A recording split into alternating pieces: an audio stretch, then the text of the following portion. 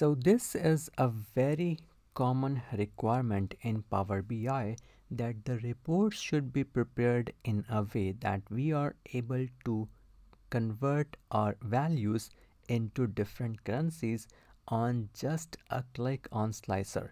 And here you can see I can convert my values from GBP to USD just by clicking on this slicer now in this video I would tell you that how do we establish a complete system in Power BI where we can convert our values from one currency to another based on the slicer value selected. And before we start, let us take a look at our data that we are going to use in this video. You can see that I currently have only a single table of data in my Power BI. And for this table, we have three columns date, product and amount. This amount column is in one single currency. For example, I would say that this amount column is in British pounds for now. And we need to be able to establish a system to convert that to USD if the user likes to see that. Now using this data, if I, if I have to do the reporting, I will go to my report view here and I will drop in a matrix and for that matrix I can drop in the product here in the rows column and I will drop in the amount here in the values column. And you can see that system has broken down our total sales into three different categories. But of course these values are in British pounds. System has automatically done the sum for the amount column. When you dragged in the amount here into the values system has automatically used the sum but it is always better to properly define a measure for the sum as well.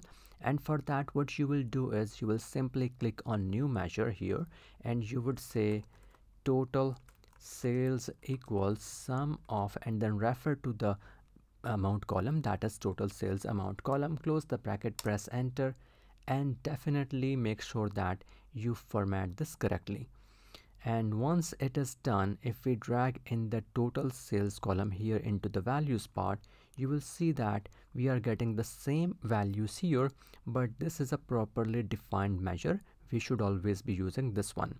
So i will remove this sum of amount from here. Now getting to the main point here and that main point is how do we get a slicer here where we have the two options that is amount in British pounds which is the local currency here and the amount in USD. Well for that we need to first of all have that data that uh, British pounds and USD in a table here. And for that we will actually need to make a new table and you can do so by clicking here on the enter data. Once you do that you should be seeing this pop up here in the first column I would say GBP and in the second row for in the same column second row I would say USD and let us name this table as TBL underscore currency. And click on load and system will immediately load this table to your Power BI if I navigate here you can see this table has been loaded. If you like to change the column name you can do that as well by clicking here and writing currency and that is fine. So the first task has been done. That is we have defined a new table for these two values.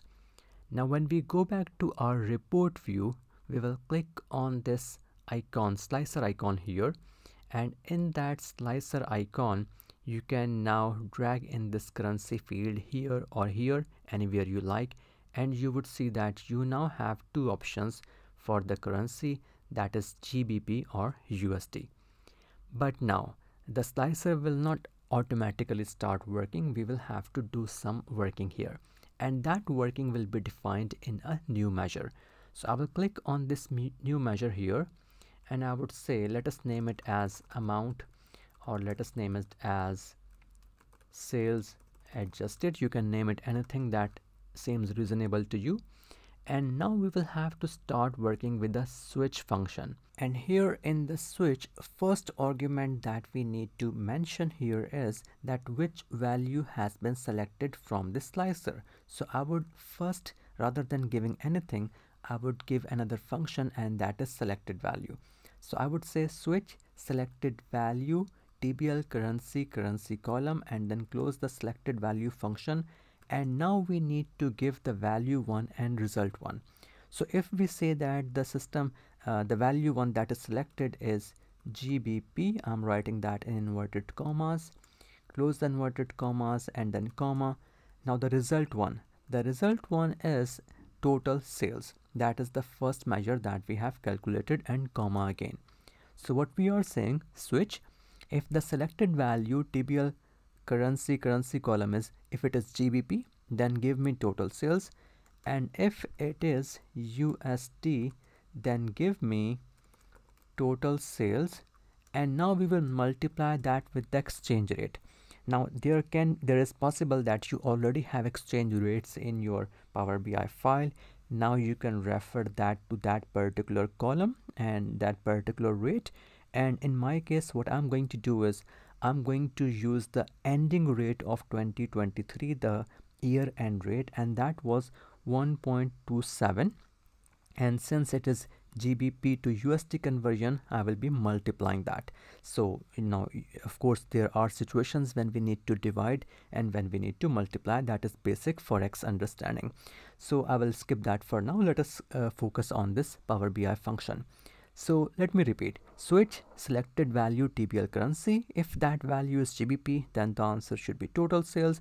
If that value is USD then total sales into 1.27 and now close this bracket and let us press enter. And before moving forward I would request you to make sure that this is properly formatted as a whole number and with a comma separator. And finally let us drag down this value here into the adjusted into our matrix as sales adjusted. And you can see right now we are not seeing any value. This is because nothing is selected here. So if I click on this GBP you can see that I have the same values here. And if I click on USD you can see that the values have been converted using the logic that we have given. Let us see again. If I click on GBP these values are reflected as same as data that has been used in this matrix that has been used in the table. And if I click on USD you will see that the values have been converted. So I hope that you have found this very interesting